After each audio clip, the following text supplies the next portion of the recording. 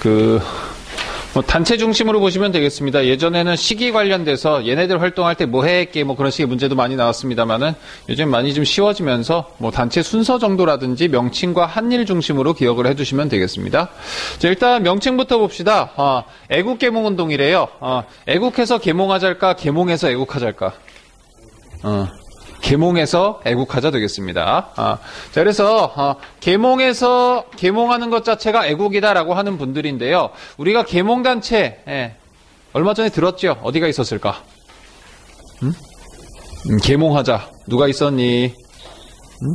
계몽이라는 건 결국 알린다라는 것이고, 그리고 어, 저 무식한 백성들을 일깨워야 된다라고 활동했었던 단체가 있었죠. 어, 어디 있었니? 예, 독립협회 있지요.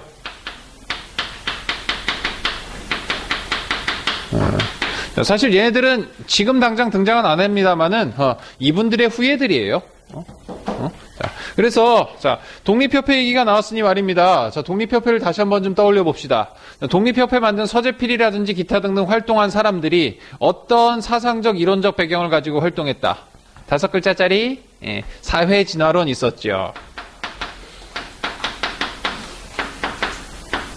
자, 그래서 사회 진화론에서 어, 사람들이 중요하게 생각하는 것들 예, 뭐가 있다?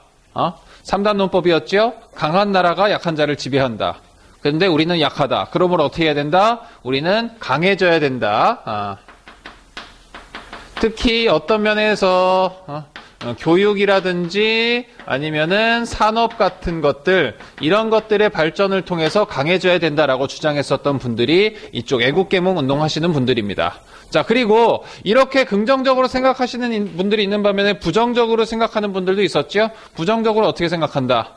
우린 안 될 거야. 아, 라고도 생각합니다. 그래서 그런 관점에서 봤을 때, 이분들이 생각하는 관점에서 봤을 때 세상엔 참 이상한 사람들이 있어요. 분명히 자, 우리가 보기에는 이길 수 없는 존재들하고 싸워서 이길, 이기겠다고 어떻게든 싸우는 사람들이 있습니다. 누구일까? 어, 그쵸. 의병들입니다. 어, 그래서 이 사람들은 이런, 그런 시각으로 의병들을 보게 되면 의병들에 대해서 어떻게 볼까?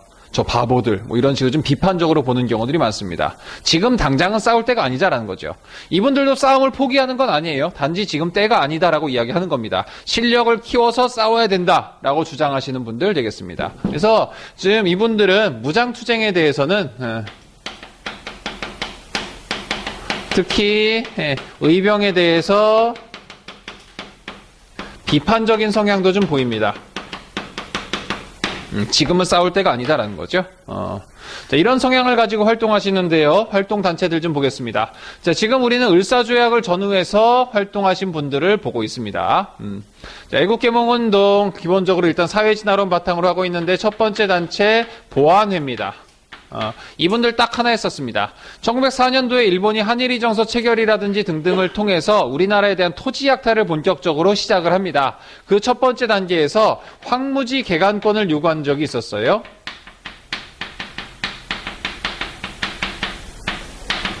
음, 야, 음. 황무지 개간권이란 뭐냐? 아, 말 그대로 황무지 개간권인데요. 황무지는 농사 짓지 못하는 땅이지. 개간이라는 건 농사 지을 수 있는 땅으로 만들겠다는 얘기입니다. 자, 우리나라에서 관례적으로 조선이나든지 고려 때 같은 경우에 황무지를 개간하면은 보통 그 사람의 소유로 인정을 해줬습니다. 개간을 장려하기 위해서. 원래 주인이 있는 경우엔 주인한테 돌려줬지만은 어, 주인이 없는 경우엔 그 사람 땅으로 인정해주기도 했었습니다. 그래서 어, 일본이 이때 아 니네 참 황무지 많은데 우리한테 개간권을 달라 우리가 개간하게 주겠다라고 얘기합니다. 물론 뒤에 생략된 말은 그 다음에 우리가 쓰겠다라는 거죠. 그런 식으로 토지 약탈을 했었는데요. 그거를 요구했고 거기에 대해서 어, 어, 반대 운동을 벌입니다. 우리가 하겠다라고 나섰습니다. 어, 그게 이제 보완입니다. 그리고 나름대로 어, 성공 어, 보완의 활동입니다. 아직 을사조약 체결 전이기 때문에 그럭저럭 활동들이 먹혀요. 음. 보완에는 요거 딱 하나 하십니다. 어. 자, 그 다음에 이제 단체가 등장합니다. 1905년도인데요. 아직 을사조약 체결 전이었어요. 헌정연구회란 단체가 등장합니다. 자, 이름을 봅시다. 뭐 할 것 같이 생겼니, 애들? 음, 뭐 하는 애들이다? 헌정, 연구하는 애들이죠. 헌정이라는 게 뭘 의미할까? 어, 어, 입헌 군주제를 얘기하겠죠. 그래서 입헌 군주제 추구했던 분들이고요. 그리고 예전에 입헌군 주제 얘기했던 분들 누가 있었니? 어, 독립협회하고 갑신정변 그 시리즈들 있었죠? 그래서 독립협회 사람들이 만드는 거예요.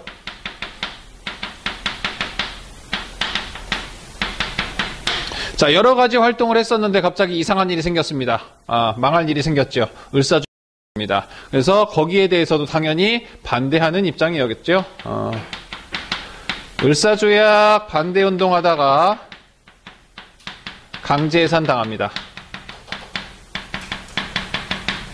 어, 어, 그래서 1906년도에 해체됩니다. 하지만 해체됐다고 슬퍼하지 마세요. 간판만 바꿔들고 다시 부활합니다. 단 이제는 입헌군주의 얘기하는 게 별로 의미가 없어졌죠. 왜? 나라가 망했으니까. 그래서 어, 다른 얘기합니다. 이제는 강해질 때다. 정치 얘기하면은 통감부에 잡혀갑니다. 그렇기 때문에 활동이 약간 좀 방향이 전환된 겁니다. 원래 우리의 목적은 뭐다? 어, 이거지요. 그러면서 이제 사람들의 계몽에 힘썼던 것이 대한자강회입니다. 그래서 어, 교육과 산업을 외치면서 어, 아이고야. 산업을 발전시켜야 된다라고 하면서 여러 가지 다양한 활동들을 했었습니다. 사실 독립협회 출신들 헌정연구회가 간판만 바꿔단 거예요.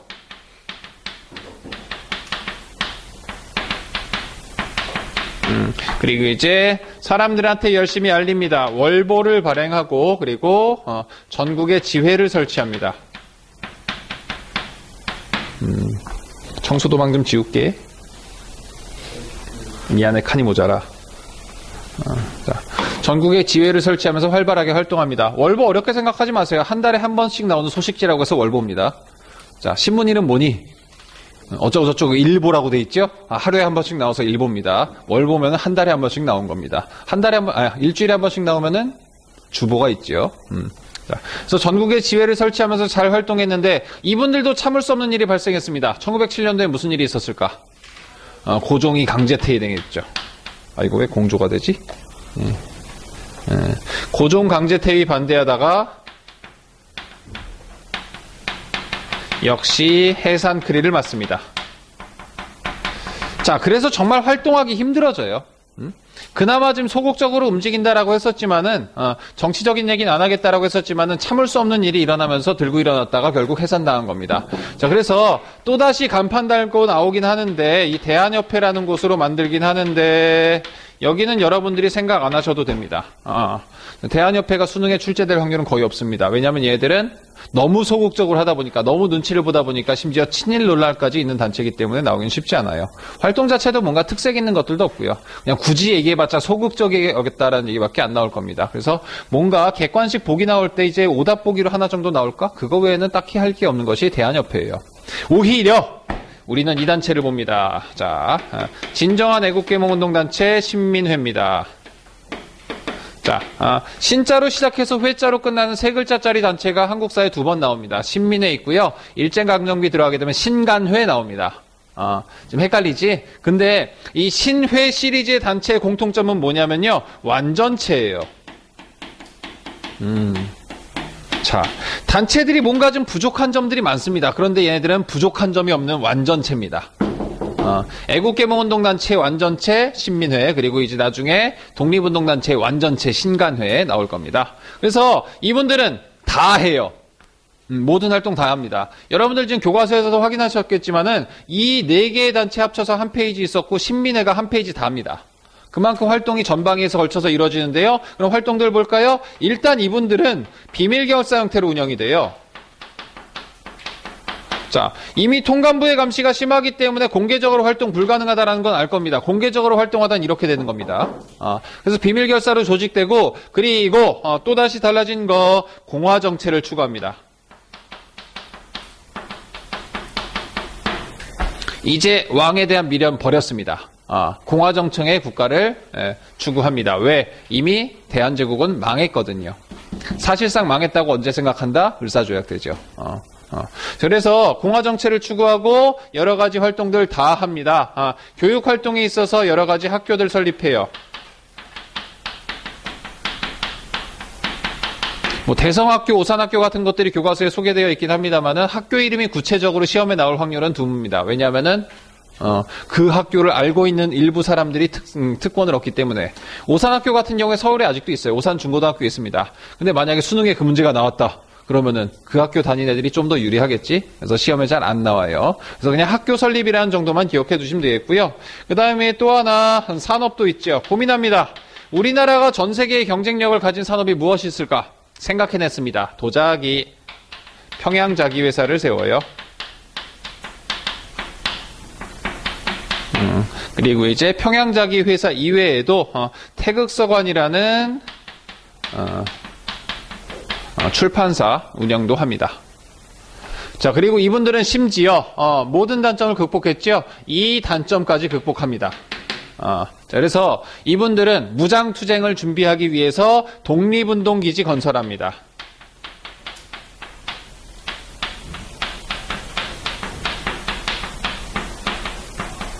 만주 지역에다가 세워요. 어, 그래서 이때 유명하게 나오는 아저씨가 이회영 육형제입니다.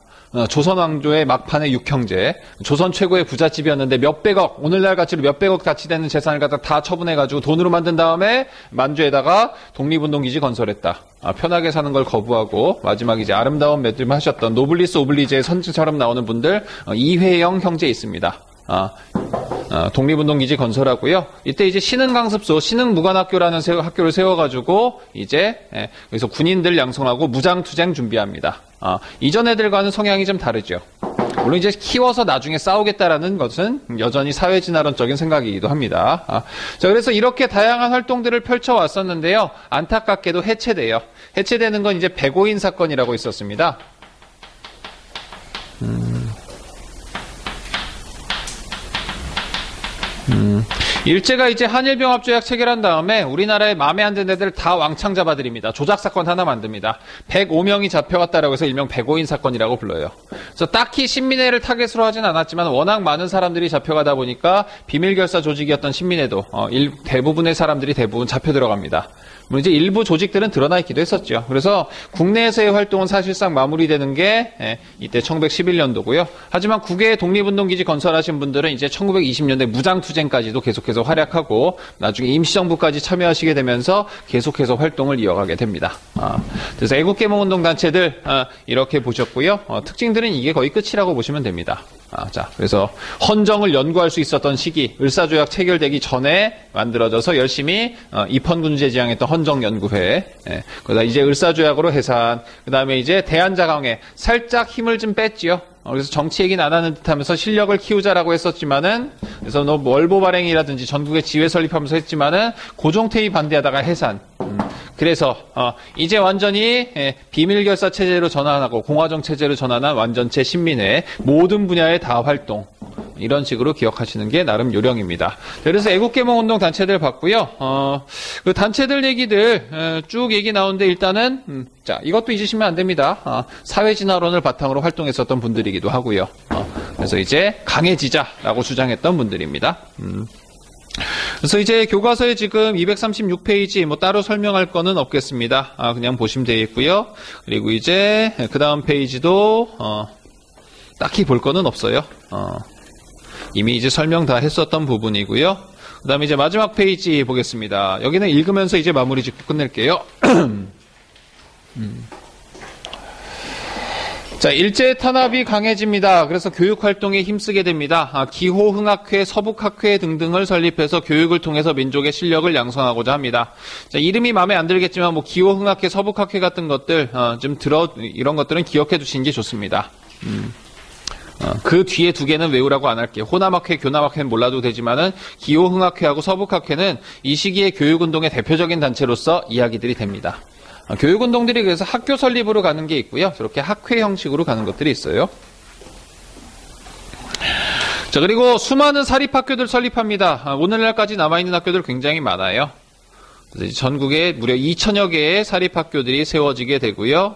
어, 그러나 어, 통감부에서 그냥 냅두기에는 얘들이 너무나 민족 교육을 많이 합니다. 그래서 통감부는 사립학교가 난립한다는 이유로 사립학교령을 공포해서 사립학교를 탄압하기도 합니다. 또한 신문지법, 보안법 등등 제정하면서 다 탄압합니다. 이 시기 예, 을사조약 체결 이후에 통감부라든지 총독부에서 만드는 각종 법 그리고 령 시리즈들이 있습니다. 지금 여기 나온 뭐 사립학교령이라든지 신문지법, 보안법, 그 다음에 나중에 나오는 뭐 광업령이라든지 어업령 같은 것들 목적은 다 똑같습니다. 못하게 하는 겁니다. 아, 우리나라 사람들이 뭔가를 못하게 하고 일본인들이 뭔가 할 수 있도록 하는 거 그런 령 시리즈들 명령 그리고 법 시리즈들 음, 법 되겠습니다. 음. 그래서 많이 위축되게 되는데요. 어, 자, 이 마지막 달, 여기 두 단락, 국채보상운동은 좀 따로 보겠습니다. 굉장히 큰 주제입니다. 음. 경제적 성격을 띤 애국개몽 운동으로서 국채 보상 운동이 전개된대요. 국채, 나라의 빚을 보상, 갚겠다라는 운동입니다. 예. 우리나라 사람들이 굉장히 잘하는 게 있습니다. 성금 모으기입니다. 어, 뭐 한다, 돈 내자라고 하면 굉장히 잘 내요. 어, 그래서 어, 이때도 돈 정말 잘 냈던 운동, 국채보상 운동 되겠습니다. 일본의 강요로 도입한 차관 1,300만 원을 갚아서 경제적 예속에서 벗어나자는 취지로 1907년 대구에서 시작됩니다. 자, 일본에서 빚을 집니다. 아, 화폐 정리 사업 하면서 빚졌습니다. 메가타가 했던 거. 어, 그거 하면서 이제 1,300만 원이라는 차관을 빌려오게 되는데 이때 거의 우리나라 1년 예산에 해당하는 거액입니다. 그래서 이렇게 큰 빚을 졌다 보니까 우리가 뭔가를 하려고 그러면은 일본 애들이 야, 니네 빚졌잖아. 우리가 시키는 대로 해야지 라는 식의 간섭들을 하게 돼요. 그것에서 벗어나자라는 운동이 국채보상 운동입니다. 온 국민이 돈 모으자. 방법은 두 가지가 있습니다. 남자와 여자가 다릅니다. 남자는 담배 끊자. 어, 여자는 어, 반지와 귀걸이 팔자 이런 것들이 있습니다. 그래서 뭐 그때 귀걸이보다 비녀가 대세긴 합니다. 그래서 그 어, 이거는 기억을 해두는 게 좋아요. 남자는 담배, 여자는 반지. 예, 자, 이게 예문으로서 굉장히 많이 등장을 하는 게 그 여러분들 교과서 왼쪽에 있는 국채보상 취지문입니다. 남배, 남자는 담배를 끊자. 갑자기 담배를 왜 끊느냐? 당장 그냥 국채보상 운동 생각하시면 됩니다. 음. 자, 그리고 어, 1907년 대구에서 시작됐는데요. 이 시기 근현대 문제 중에 유독 어느 지역에서 시작했다는 걸 갖다 시험 문제에서 묻는 경우들이 있습니다. 그래서 대구도 마음에 안 들지만은 기억을 해두시는 게 좋아요. 음, 대구에서 시작한 국채보상 운동, 나중에는 평양에서 시작한 물산 장려 운동 이런 것들 나올 겁니다. 그래서 여러 호응을 얻습니다. 그래서 전국적으로 확산되기도 했었던 국채보상 운동인데요. 어, 이제 뭐 여러 가지 당, 방법으로 돈 좀 참 모았는데 그러나 일본 애들이 이것도 역시 민족운동 성격이다 보니까 곧바로 탄압 들어갑니다. 국채보상 운동이 이제 신민회 쪽의 기관지라고 할 수 있는 대한매일신보라는 언론사 외에도 굉장히 많은 이 시기에 언론사들이 있습니다. 신문의 적극적인 호응에 힘입어서 전국으로 확산됩니다. 그래서 일제는 그 모금 운동을 주도하던 사람을 갖다가 어, 모금 액을 횡령했다라는 혐의로 잡아 가둡니다. 아, 물론 날조겠죠. 그래서 이렇게 잡아가두면서 방해하기도 하고 그리고 또 하나 아, 성금을 내는데 늘 안타까운 점들이 있어요. 부유층들은 별로 참여하지 않습니다.